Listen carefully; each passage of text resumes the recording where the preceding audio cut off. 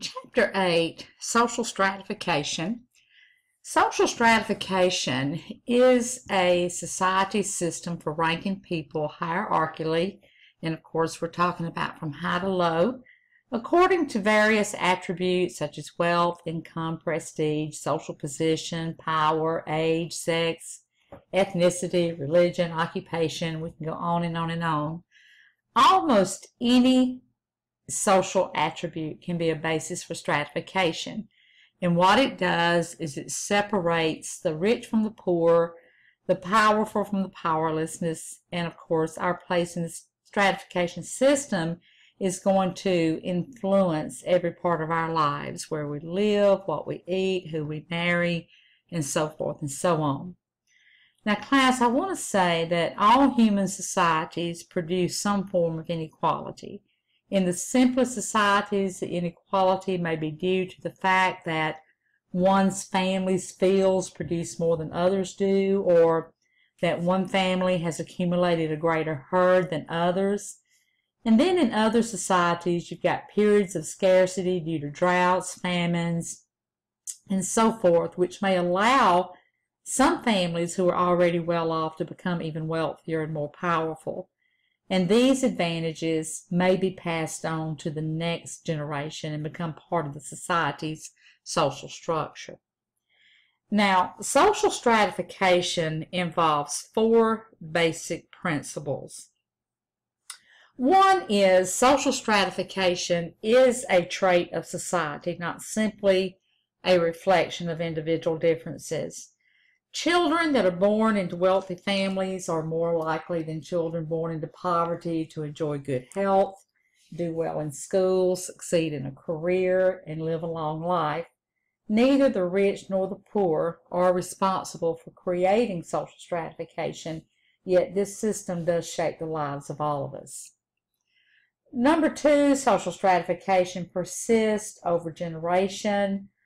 Inequality persists from generation to generation because parents pass their social position on to their children.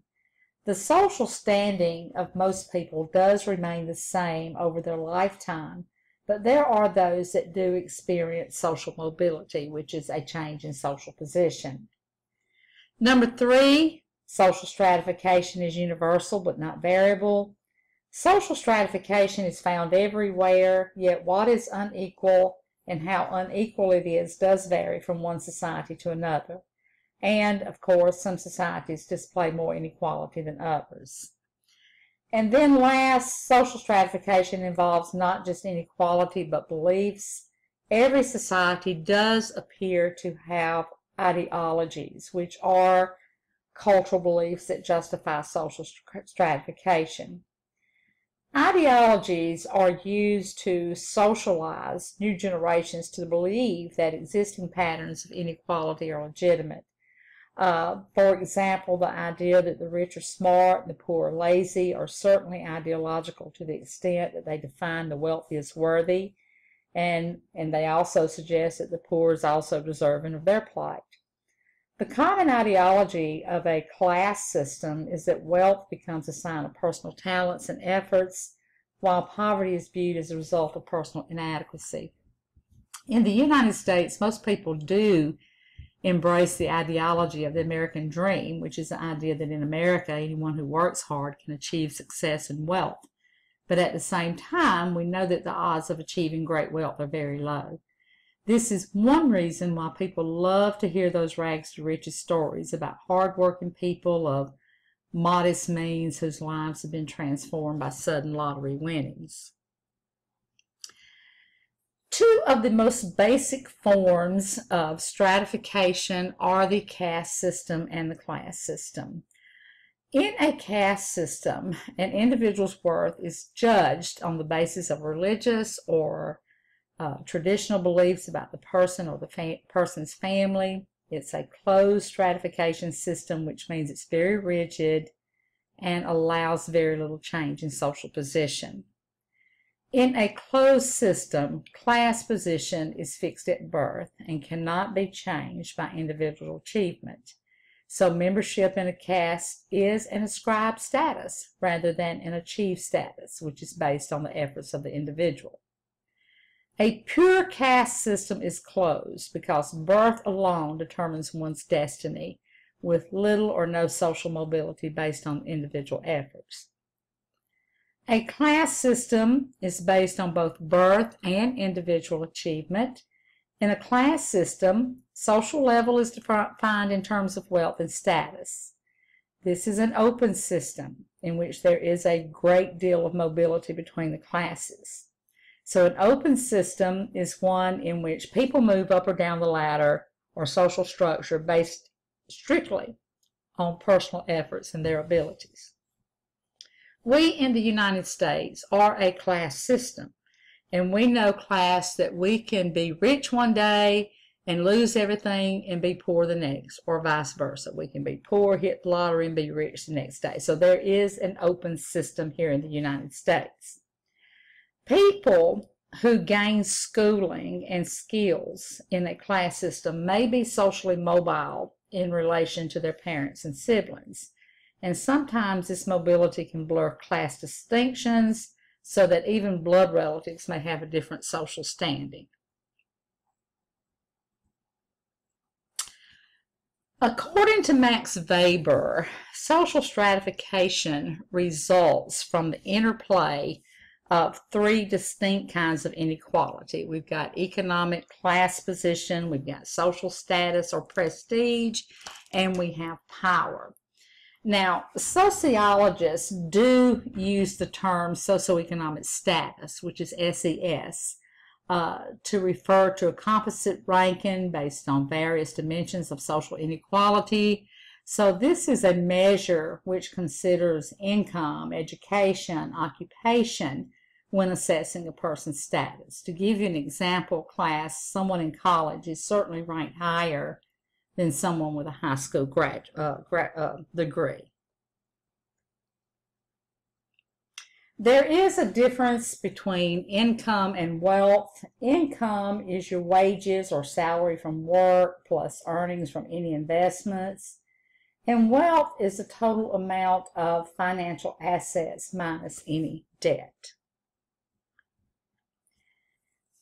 Looking at the social classes in the United States, there are six categories of people. It's all based on wealth. The first one is the upper uppers. These are people who have inherited their family wealth, high status. In other words, it's old money. And of course, class, we're looking at less than 1% of the total population. The lower uppers, these are people who have income that is comparable to the upper upper, but they don't have that distinguished family background. So in other words, this is our working rich.